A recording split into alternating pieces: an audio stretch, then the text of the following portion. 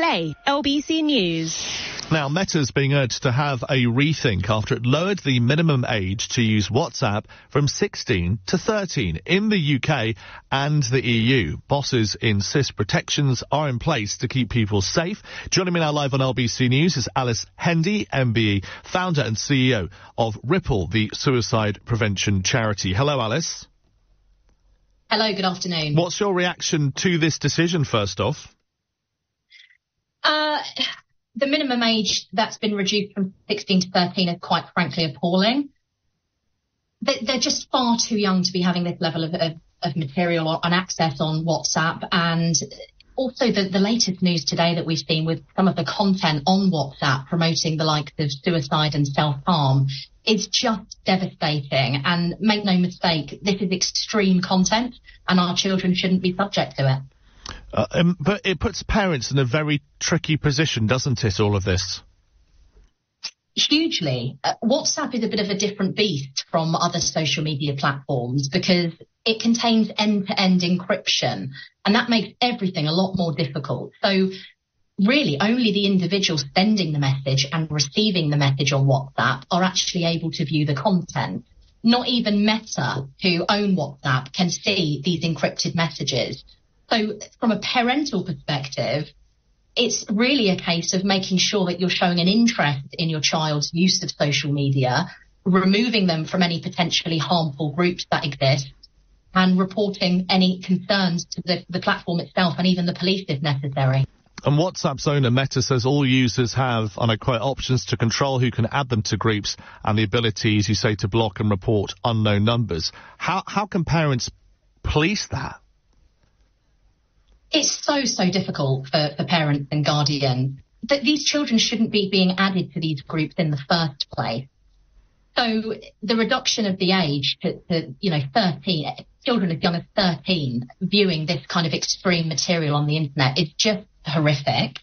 The only thing that parents can do to try to mitigate this is to really keep a keen interest on what their young person is doing on social media, monitoring that, and then taking appropriate action based on if they are actually subject to any of these groups. Do you think the Online Safety Act is doing a good job? Well, it was introduced to give regulators powers to ensure social media companies are protecting our children from harmful material. Frankly, that's not what's happening at the moment. And if these organisations and platforms are not complying with these guidelines, then they should expect to be fined very heavily in the coming months. Do you think there's a corporate culture at these platforms that perhaps it needs to change from profit must be, or safety should come before profit? At the moment, it's the opposite. Profits are very much coming before safety, and it needs to be completely the other way round.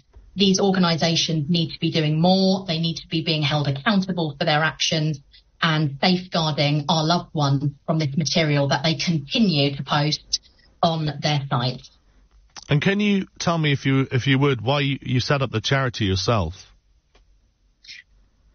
I'm pretty angry uh, with regards to, to all of this news today because I very sadly know firsthand the impact that this material can have on people. I lost my brother Josh to suicide in November of 2020.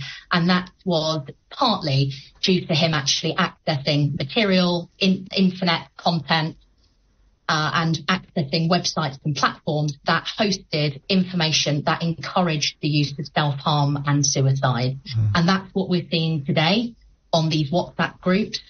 And it's what needs to change.